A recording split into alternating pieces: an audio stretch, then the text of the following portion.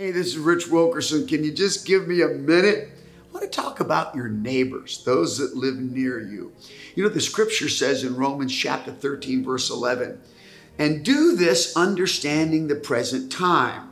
The hour has already come for you to wake up from your slumber because our salvation is nearer now than when we first believed.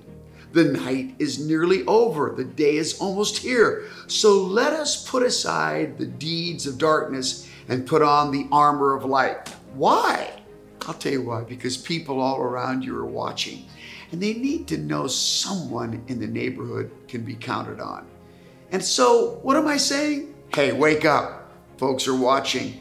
Let's be aware that we can be the answer to their needs. Let me pray with you, Lord. I pray for my friend who watches right now that you would help them and me be people of the light. Thank you, Lord. Amen. Love you.